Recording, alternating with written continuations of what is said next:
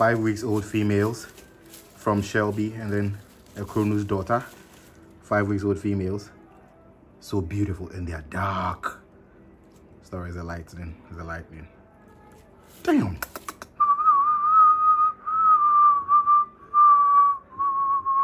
I think I should take them out of the box so you can see them well. They're so beautiful. Well-shaped heads. Size, you already know, it's Haus of Vigilio. Mm, five weeks old. Cronos daughter X Shelby from Royal Breed. Damn.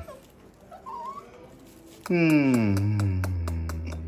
Y'all remember the start puppy I I picked up a Cronos start puppy? Yeah, yeah, she's old now. She's about a year and a half now.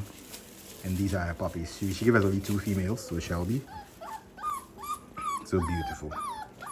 Yeah, yeah, stop this light thing.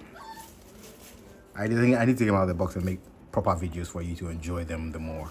I always love a blue, a blue basket. It's just my thing.